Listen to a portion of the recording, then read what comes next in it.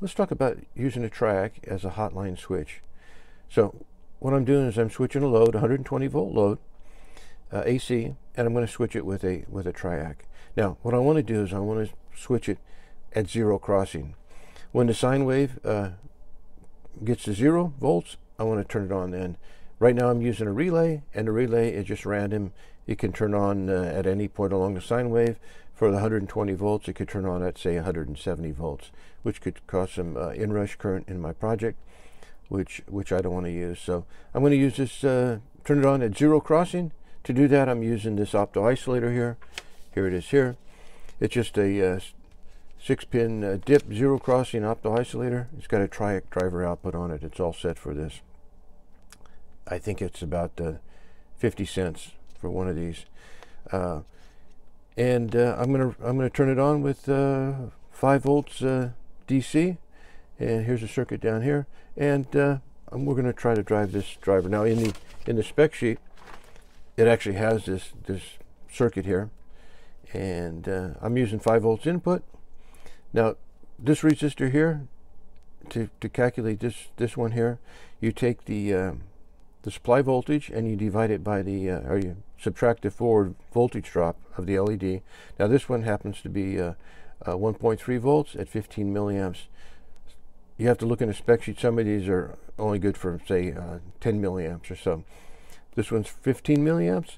So I'm taking my 5 volts minus my 1.3 volts and dividing by 15 milliamps and I get uh, uh, 246 ohms here. Now I've got a 280 ohm resistor. I put that in there, and uh, I'm putting about uh, 13 milliamps through here, and that's working just fine. Now, the triac over here, I picked uh, this triac here, and it happens to be good for uh, 40 amps. Uh, now, in the spec sheet, it tells you the, uh, it gives you these values here, the 180 ohms here and the 1K here. This snubber circuit, it's optional. I, in fact, I didn't use that one. This now what I did is I you can buy a um, solid state relay and it's probably the best thing to do. But the project I'm working on it has uh, octal based relays in there and I didn't want to change the uh, the relays out take everything apart so I built one into an octal based relay. And here it is here. So what I did in the relay I don't know if you can see in there but I uh, I took the coil out and I mounted the uh, get it up a little closer. And I mounted the uh, triac in there. And on the other side I've got the uh, uh, uh the opto isolator in there. Okay? And it's all inside the package there.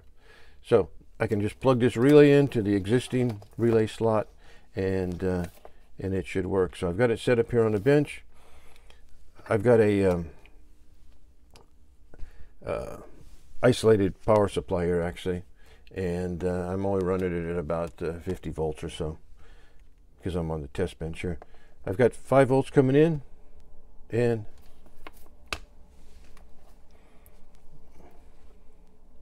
and that turns on the I can crank up the voltage a little bit and that turns on the uh, on the, the load here so that's going to work just fine and uh, it just turns on at zero crossing so I'm going to be able to plug this into my project and have a zero crossing uh, relay. So that's, that's all there is to it. In the uh, spec sheet for these uh, opto isolators, uh, you'll see the circuit in there. And uh, now, this happens to be good for 40 amps.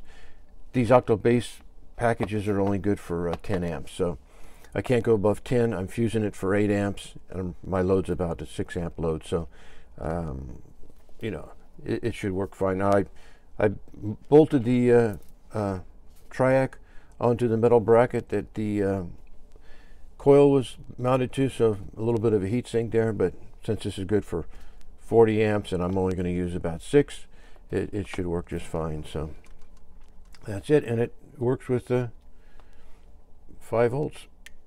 So that's it. Thank you.